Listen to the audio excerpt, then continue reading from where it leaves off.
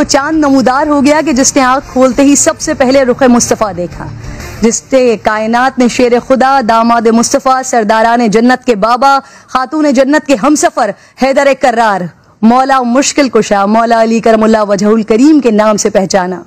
औलिया अल्लाह के सरताज, शहनशाह रूहानियत, इल्म का रोशन दरवाज़ा, हिदायत का मंबा अदल को जिससे पहचान मिली, इंसाफ ने जिससे पनपना सीखा, जिसने कयामत तक के लिए इस एक फरमान के ज़रिए दरियाए अदल को कूजे में समो दिया कि कुफ्र का निज़ाम चल सकता है, जुल्म का नहीं। जब एक बूढ़े यहूदी को कूफे में भीख मांगते हुए देखा तो सवाल किया, मेरी हुकूमत में भीख क्यों मांग रहा है?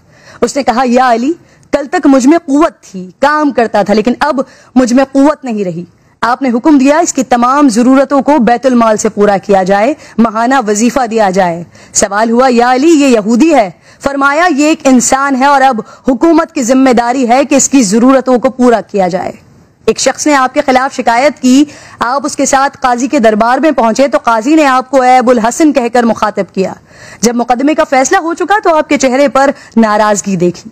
काजी ने सबब पूछा तो फरमाया, तुमने मेरे मुद्दई को नाम लेकर बुलाया, लेकिन मुझे कुन्नियत, यानी ज़्यादा एहतराम और इज़्ज़त के साथ बुलाया। अदल का तकाजा था कि तुम मुझे भी नाम लेकर बुलाते। हज़रत इब्ने अब्बास आपके पास आए तो आप अपना फटा पुराना जूता सी रहे थे। अपने अब्बास से पूछा, तुम्हारी नज़र में इस जूते की क्या कीमत होगी? उन्होंने कहा, कुछ नहीं या अली ये तो बहुत बोसीदा है। तो फरमाया कि मेरी नज़र में इस हुकूमत की कदर कीमत इस जूते से भी कम तर है। बस ये कि हुकूमत के ज़रिए मैं अदल को नाफिज कर सकूँ, हक को कायम और बातिल को मिटा सकूँ।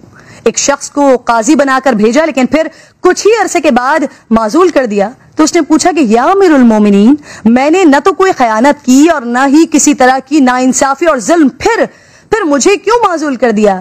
तो आपने फरमाया कि मैंने देखा कि तुम्हारी आवाज़ साहिल की आवाज़ से बुलंद हो जाती है। नबी करीम सल्लल्लाहु अलैहि वसल्लम फरमाते हैं कि मैं इल्म का शहर हूँ, अली उसका दरवाज़ा है।